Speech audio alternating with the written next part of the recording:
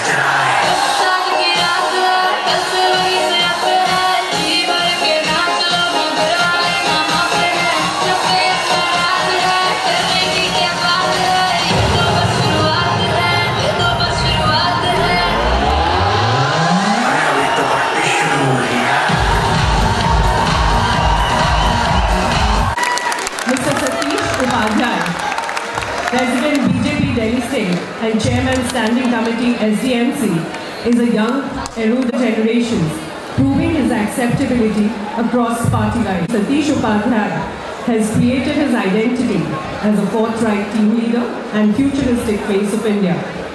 A graduate in political science from Delhi University, Shri Upadhyayji entered the party's student upward, resulting eventually in his appointment as the Vice President of Delhi BJP, a post he held till 2012 before diving into the municipal.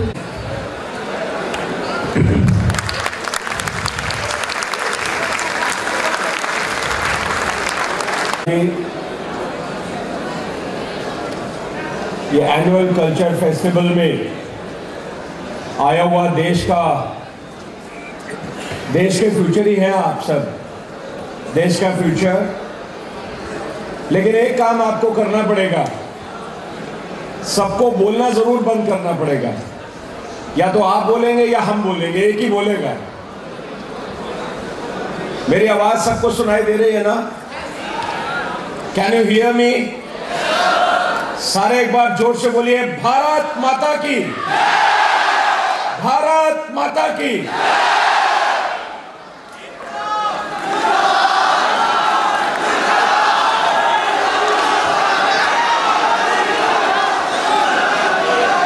देखिए, देश में एक परिवर्तन हुआ है और आप सबको सुनने की ज़रूरत है। You have to be very very serious about certain things जहाँ एक और अपना जिम्स के साथ फ्यूचर बना रहे हैं, आपके पेरेंट्स की और आपकी एक होप है अपने फ्यूचर को लेकर के, अपने करियर को लेकर के। जिम्स के साथ आपका करियर, कोई लॉ ग्रेजुएट बनेगा, कोई एमबीए बनेगा कोई फाइनेंस मिनिस्ट्री में होगा, कोई अच्छा चार्टेड अकाउंटेंट होगा, कोई अच्छा पत्रकार होगा। यानी जिम्स जिस तरह की एजुकेशन आपको दे रहा है तो उसमें एक अच्छा सिटीजन बनना करियर तो जो बनाना है वो बनाना ही है। लेकिन देश में मोदी जी के आने के बाद जो परिवर्तन हुआ है, जो चेंज हुआ है, और वो चेंज हुआ है कि मोदी जी के आने से पहले इस देश का यूथ जो इस समय 30 से 40 परसेंट के आसपास जिसको यंग इंडिया हम कह रहे हैं अब, और आने वाले टाइम के अंदर ये जनरेशन कम से कम होने वाली है 60 70 परसेंट के आसपास। एक परिवर्तन देश में ज़रूर हुआ है जो आप सब लोग महसूस करते होंगे। मोदी जी के आने से पहले हमको लगता था कि ये पॉलिटिशियन इस देश में अब कुछ संभव नहीं है। सब कुछ बेकार हो चुका है। देश में करप्शन है, देश में जो प्रगति होनी चाहिए थी वो नहीं है। हम फॉरेन में जाते हैं, वहाँ की कल्चर को देखते हैं, वहाँ की क्लीनिनेस को देखते हैं, वहाँ जाकर के उनकी प्रोग्रेस को देखते हैं। और जब हम यहाँ रहते हैं भारत के अंदर, हिंदुस्तान के अंदर तो लोगों के मन से एक होप खत्म हो चुकी थी। लोगों को लगता था कि ये सब ऐसे ही चलेगा, देश में कुछ संभव नहीं है। लेकिन मोदी जी के आने के बाद शायद आप लोग ये मानते होंगे, एक आशा की किरण मन में लोगों को जो ट्रस्ट डेफिसिट था, जिसको हम बोलते हैं लाइफ के अंदर, जो ट्रस्ट डेफिसिट था, जो अविश्वास था, वो अविश्वास ज़रूर लोगों के मन में एक विश्वास जागा है और लोगों को लगता है।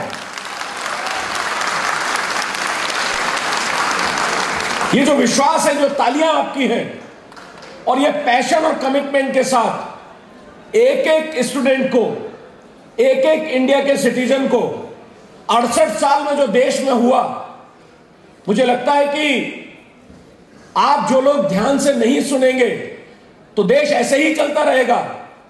अगर हम आपस में ही बातें करते रहेंगे, और देश में भी ऐसा ही होता रहा।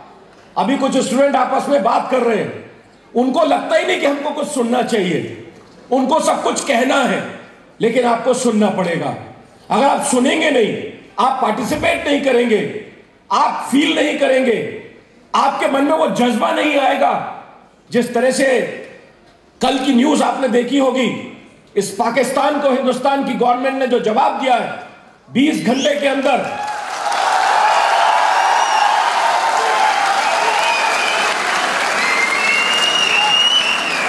बीस घंटे के अंदर यह जवाब चाहिए हिंदुस्तान की गवर्नमेंट से। कोई वार्ता नहीं करनी। बराबर का, मैं अभी होम मिनिस्टर के साथ बैठा हुआ था। मैंने पूछा उनसे कि यह क्या हुआ है। उन्होंने कहा कि उन्होंने दूसरे दिन हमसे फ्लैग मीटिंग के लिए कहा। पर हमने कहा कि अब ये फ्लैग मीटिंग मीटिंग कुछ नहीं चलेगी। आपने हमारे अगर दो जवानों को या दो ग्रस्त को मारा है, इतनी ज़बरदस्त उनके ऊपर हुआ है कि वो छोड़ करके, हाथ जोड़ करके, बंद करके बैठे हैं। इस तरह का एडमिनिस्ट्रेशन में चाहिए हमारे जवानों के सर काट करके फेंक देंगे और यूथ होने के नाते मेरा खून नहीं खोलेगा। यह कैसे हो सकता है? और अगर जिसका खून नहीं खोलता देश के जवान के ऊपर, हम यहाँ बैठे हुए जो हमारी सरहदों की रक्षा करते हैं, हम जो शांति से बैठते हैं, आपको मालूम है सिक्सटी डिग्री टेम्परेचर के ऊपर, कारगिल के अंदर, एक सिपाही आपके लिए क्या क्या करता है? कितना आपके बारे में सोचता है? क्या उसकी बहन नहीं है? क्या उसकी माँ नहीं है? क्या उसका परिवार नहीं है? हम जो शांति से सोते हैं ना, हमको थैंक्स करना चाहिए देश के उन जवानों को, जिनके लिए, जो लगातार हमारे लिए सब कुछ छोड़ करके, लिए होली, दिवाली छोड़ करके हमारी शांति के लिए लगे रहते हैं।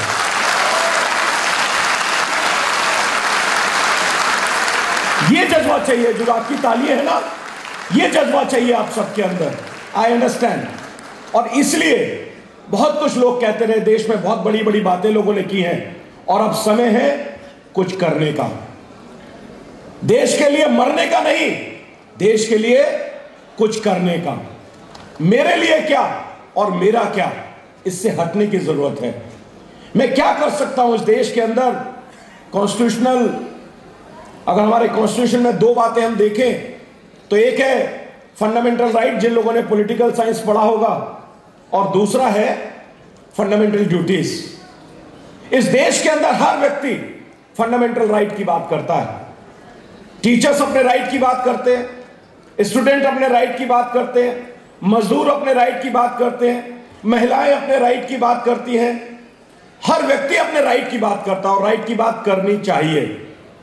लेकिन किसी भी देश ने तरक्की अगर की है तो केवल अधिकारों के आधार पर नहीं की है।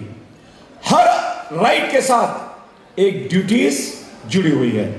अगर हम इसको रिवर्स कर लें कि क्या हम देश के लिए ड्यूटी पहले कर रहे हैं कि नहीं कर रहे, अगर आप ड्यूटी पहले करेंगे तो राइट आपको अपने आप फॉलो करेगा। और इसलिए मुझे कहना है कि ये जो यूथ है, आप जो देश का भविष्य हो, और वास्तव में जब मैं कह रहा हूँ कि आप देश का फ्यूचर हो तो इसका मीनिंग है। ये देश आपके हाथ में है। हम सब, जो हमारी पीढ़ी है, ये पीढ़ी भी रिटायर होगी। उससे पहले की पीढ़ी रिटायर हो गई। ये देश की बागडोर आपके हाथ में आनी है। जिस प्रकार का, जिस प्रकार का विजन आपके पास है, जो आप सोचते हैं, जो आप अपना देश बनाना चाहते हैं, बहुत लंबा मैं भाषण आपके बीच में देने के लिए आया नहीं हूँ।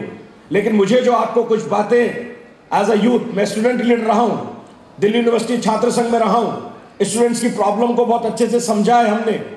हमने हमारे माँ बाप ने जो हमारे लिए सपना देखा है और आपने जो अपने लिए सपना देखा है, वो सपना आप देश के साथ जोड़िए।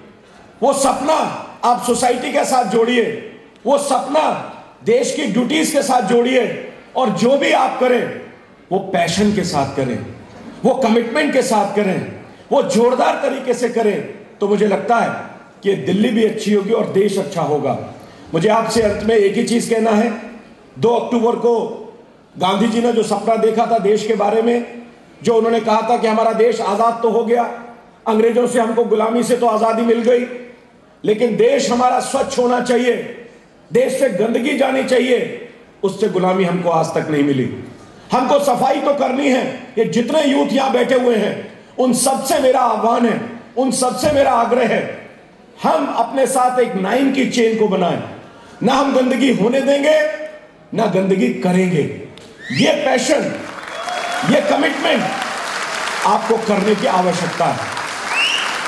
और आप सब लोग, आप सब लोग नौ लोगों को जोड़ेंगे। आपके आसपास अगर कोई कागज़ पड़ा हुआ है, आपके आसपास अगर आपने कोई चाय पी है, आपने कोई पानी की बोतल रखी है तो ये हमको as a way of line इसको हमको एक आंदोलन बनाना पड़ेगा। हम सब मिलकर के और सब लोगों को नाइन की चेन बनाकर अपने नौ लोग आप चुनिए, मैंने नौ लोग चुने हैं अपने।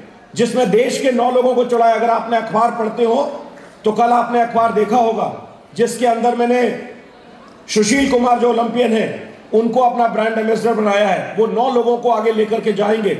उसी के साथ देश की प्रमुख, जिन्होंने कथक डांस में बहुत बड़ा योगदान देश के अंदर किया है, उमा शर्मा, उनको मैंने उसमें जोड़ा है।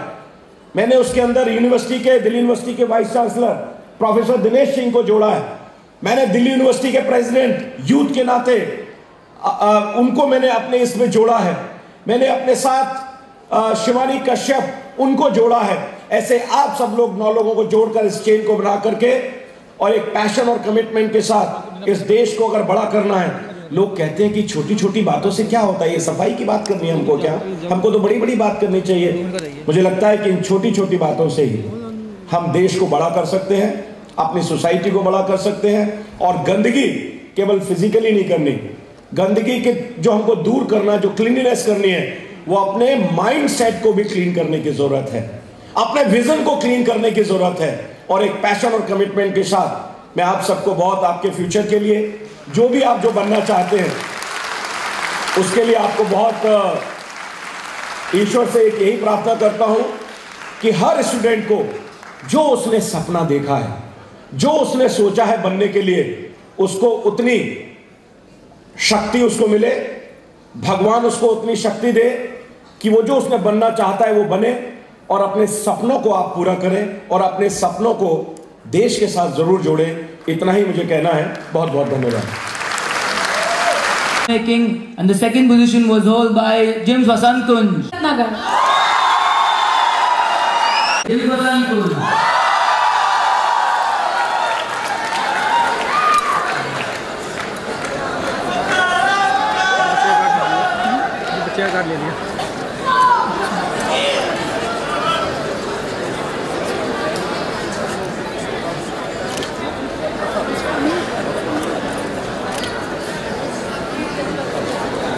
Obrigada.